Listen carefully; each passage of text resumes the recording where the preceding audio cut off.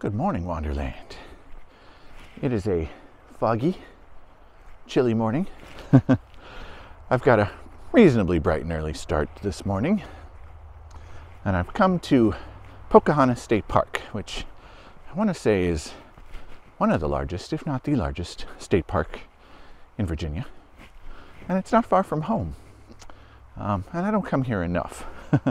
there's a, it's mostly forest, but there's a few lakes and one of them in particular is supposed to be a nice birding hotspot, especially as we're approaching spring. So, uh, yeah, I wanted to work on my birding today. That's what we're doing.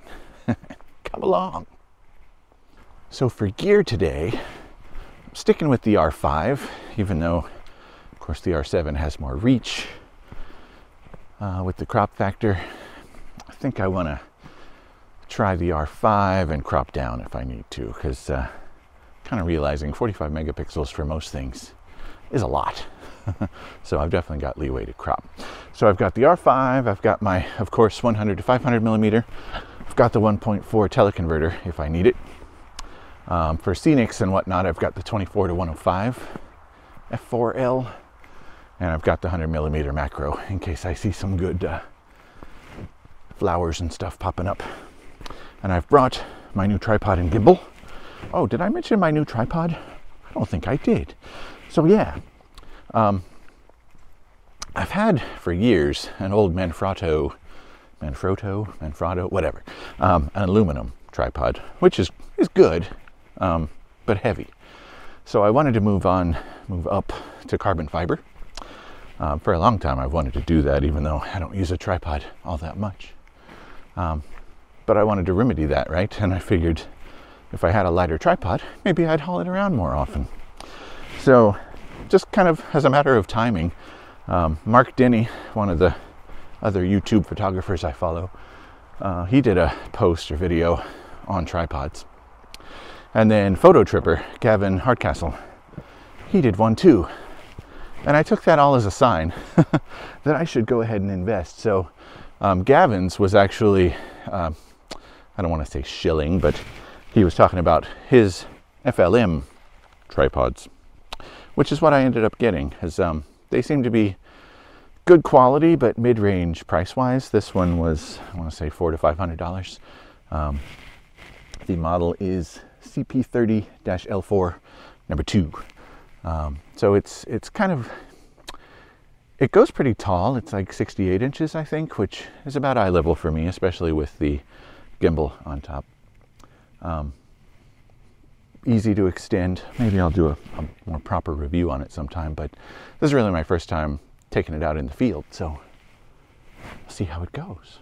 But I'm hoping it'll help, obviously. Um, if I find a good hot spot with lots of birds, I can set up and just shoot with the gimbal. So that's the idea.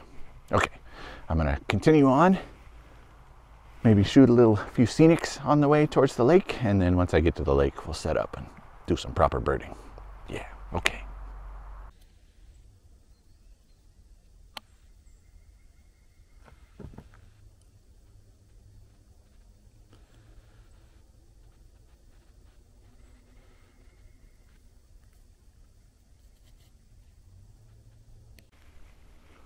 This is definitely a trail at this park that I've never been on been here a number of times since it's our closest state park, but usually we do the same trail, and it's not this one.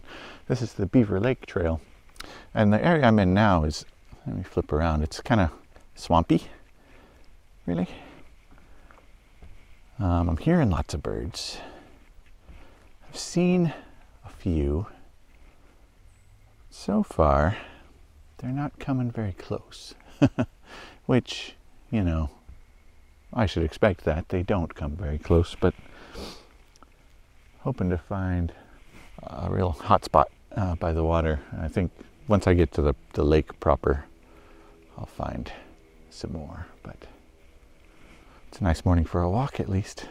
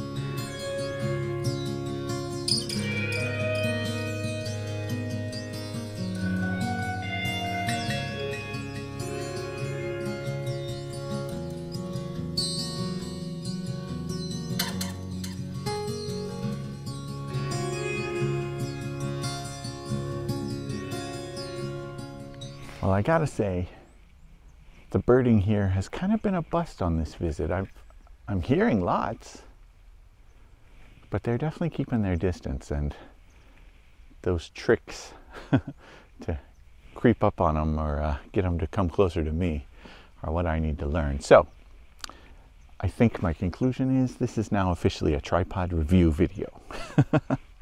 so let me flip around and show you what I'm talking about. All right, so there she is. That's, uh, like I said, it's the FLM CP30-L4 Mark II. Um, yeah, carbon fiber. I'm liking it. It's been a lot lighter to haul around, which is good. So um, let me kind of give you the quick tour. So my Manfrotto, Manfrotto, I never know how to pronounce that. Anyway, um, it was aluminum and it was center column type, so it had the center column that you could raise and lower, um, which was okay, but that really limits it from being able to spread too low. It did, the column would come up and flip to the side, um, so you could get low, but then that was, never found that to be very stable or convenient. So this is nice on the legs on this one. Um, the default position stops here, but then you can pop this up and pull it out to uh, either here or, or flat basically. So it's got a three level adjustment. And it really, these are firm enough, um, the joints, that I think you could set it to a middle range position and it'd still be fairly stable, but it has three hard stops. Plus it can fold, of course, inward. Um, let's see, the cams on the legs, the locks are twisty type which I don't usually like, but these are nice because you only have to twist them a little bit before they loosen up. And then, sorry about the angles here, um, once you retighten it, it grips pretty quickly and it holds firm. My Manfrotto had the clippy, the levers, and uh, those are always just a little harder to do. So yeah, I'm liking this so far. Uh, you got a ball level, bubble level here, of course. Um, this is my gimbal on top, so ignore that.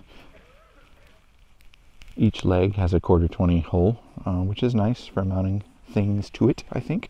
And it's got a hook underneath, if you can see that there, um, for holding a sandbag, camera bag, add weight, whatever. So yeah, I'm liking it. But let me show you the one thing that I haven't been enjoying about my setup today. The ball head that I'm using, and it's not the ball head's fault, but it came with this Arca Swiss plate. And hopefully I can do this one-handed loosen that up. So I've been having trouble with this coming loose and swiveling, um, which makes it difficult when I'm trying to hold it on my shoulder. Um, so yeah, this I could didn't bring a straight slot screwdriver to tighten this up real well, but what I really need, you can see it's got these extra holes and it can line up with that hole in the tripod collar on this lens, but I don't know what I need to go in there to do that. So that's what I need to figure out, because otherwise I have to keep taking this off and tightening this up or it starts to get wiggly. And I really don't want the lens and camera to fall off the tripod, of course, when I'm carrying it on my shoulder. That'd be bad.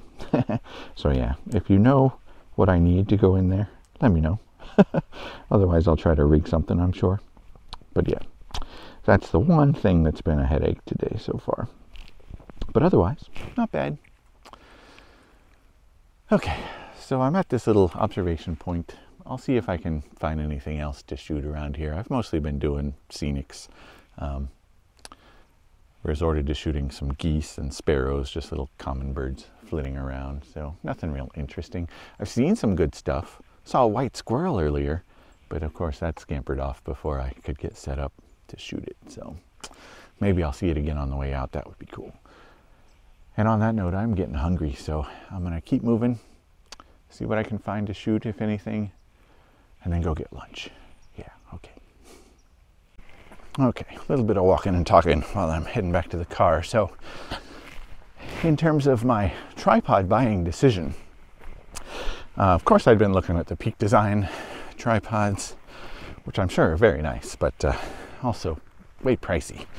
Really didn't want to spend that much on a tripod, um, which I haven't traditionally used all that much, which again, I'm trying to fix this year, obviously. Um, but on the lower end, there's like, you know, the Amazon Chinese folks, Ulanzi and all those. And I'm sure they're fine too, especially if you don't use it all that much, which I was that guy for a long time. Um, but I wanted to invest a little more than that in something that would hopefully last longer, be higher quality in general, a little more comfort features. So then when I saw Gavin's video on Fototripper, I was like, that seems like a pretty good compromise between uh, price and quality. Of course, he didn't pay for his. One of the benefits of having many thousands of followers, which could be me someday. Like and subscribe.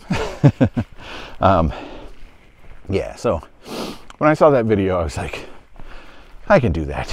400 bucks, I think it was. That's reasonable, I think, for a quality carbon fiber tripod.